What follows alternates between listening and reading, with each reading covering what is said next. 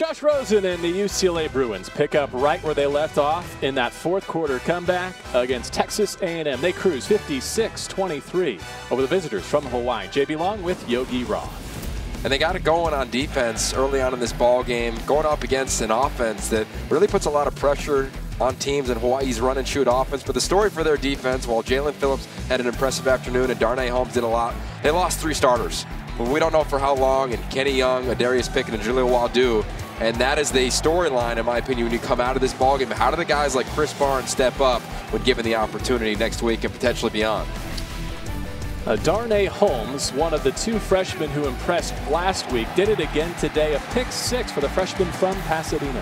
He's big time. He's got All-American status written all over him at some point in his career.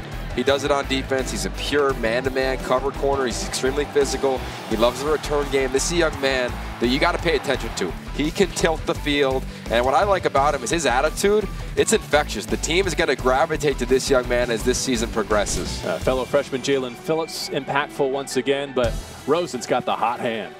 Oh, he's special. I mean, he really can do anything. Uh, he put on a clinic, I thought, offensively at the quarterback position. Play action pass, spot throws, in the red zone, understanding where the ball needs to be located on critical downs and distances.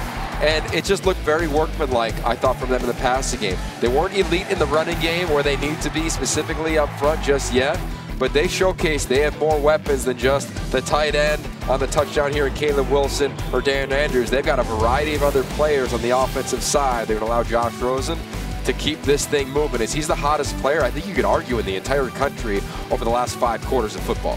One ups his career high with five touchdown tosses. That was set last week in the fourth quarter against the Aggies. To the road go the Bruins at Memphis, at Stanford, as their 2017 continues.